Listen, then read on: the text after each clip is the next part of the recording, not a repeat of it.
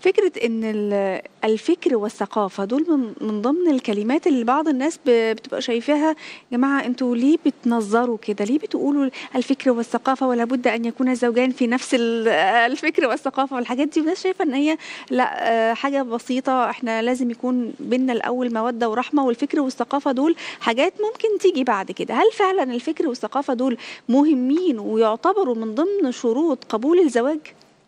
بسم الله الرحمن الرحيم الحمد لله والصلاه والسلام على رسول الله سيدنا مولانا محمد بن عبد الله خلينا يعني نلتقط كلمة من كلام الدكتوره المراد التكافؤ والتقارب وليس التطابق.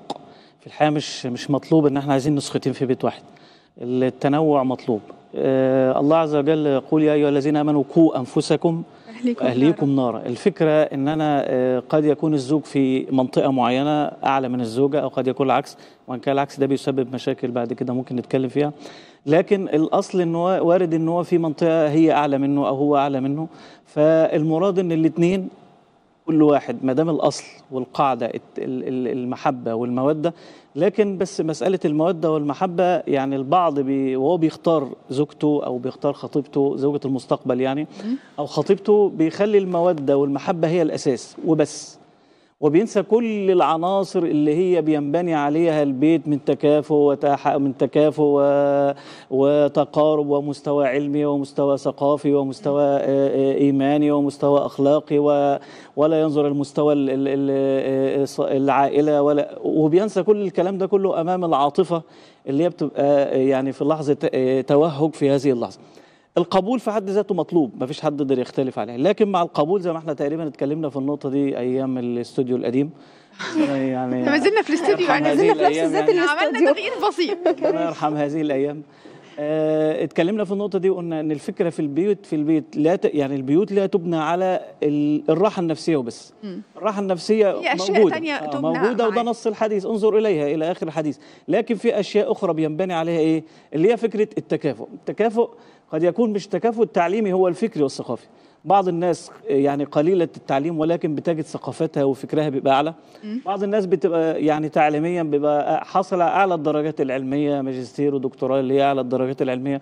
ومع ذلك لو سألتيه في أي حاجة فكرية أو ثقافية بتلاقي إيه؟ راجل كده يعني من كلام حضرتك يا الناس ممكن صفر. تفهم إن مش شرط إن يكون في توافق فكري وثقافي ما بين ال- الزوجين طالما الناس فعلا واحد مش بشهاداته. عادي ما أنا ممكن أنا يبقى الراجل معاه دبلوم ومراته دكتورة والعكس صحيح فهنا آه، يبقى ما فيهاش أزمة؟ تقريبا ما قلتش الكلام ده يعني. أنا بس كملت الفكرة لا لا. حضرتك كنت بتقول على نقطة أنا أقول لك البعض ممكن يفهم منك كده إنك بتقول ما في واحد أنت ممكن تسأله في حاجة. فيقول لك آه، يجاوبك إجابة واحد مش معاه دكتوراه ما يعرفش يجاوبها.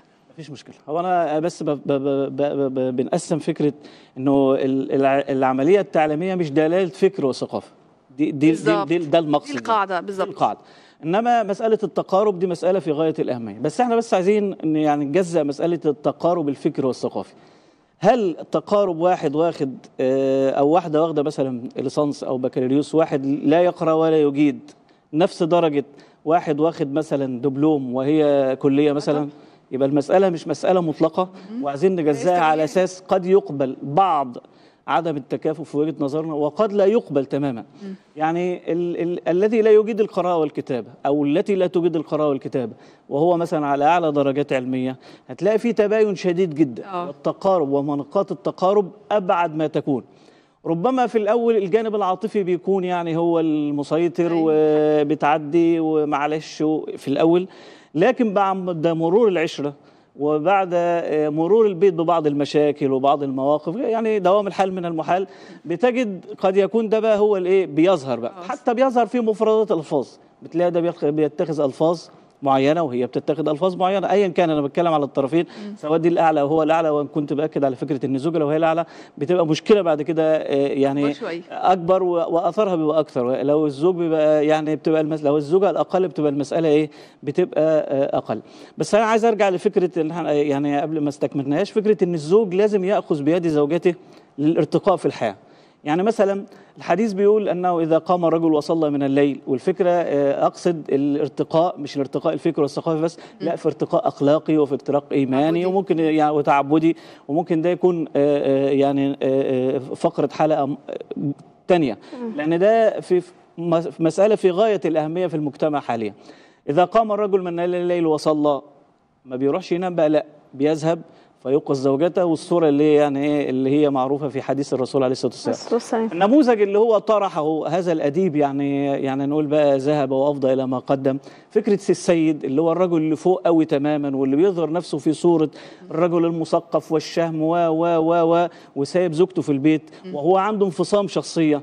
تام انفصام شخصية تام وإن كان ده يعني يصورون الرجل على إنه هو النموذج اللي كل الناس لازم تقتدي. به من قال ذلك؟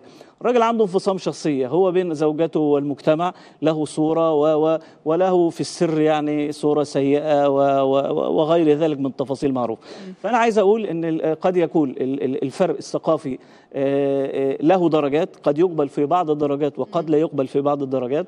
مطلوب من الزوج أو مطلوب من الطرف الأعلى ايا كان أنه يقبل شريكه إذا رضي بالبداية على هذا الأمر ودي مسألة مهمة إذا رضي لأن إذا رضي هنحتاجها بعد كده. أيوه. إذا رضي هنحتاجها بعد كده. ما أنت اللي اخترت وأنت أيوة. اللي قبلت وأنت كان قدامك ولكن أنت اللي- وأنت اللي كان قدامك تختاري واحد أعلى لكن هذا اختيارك. اذا المطلوب مش هنقول انفصال طبعا لكن المطلوب مسألة أن كل واحد يقبل شريكه على ذلك مع القبول يحاول يطوره بقدر المستطاع والنصيحة لها أدب ولها شكل معين والنصيحة من الرجل لها آداب ولها أشكال غير النصيحة من المرأة وأدب الرسول عليه الصلاة والسلام في النصيحة. سريعا مثلا نعم الرجل عبد الله لو كان يقيم الليل. فالنصيحة في حد ذاتها قصة يعني تحتاج إلى آداب وإلى ذوق وإلى وإلى وإلى جميل. الفكرة الأساسية إن إحنا مش عايزين نقول إن كل فرق ثقافي و... و... وفكري مستوى مشكلة. واحد ويحدث مشكلة الأمر الثاني إذا كان الطرفين عندهم استعداد إنهم يكملوا بهذا الشكل في أفكار بقى ممكن إيه يتعاملوا بها للاستمرارية يقدروا يستمروا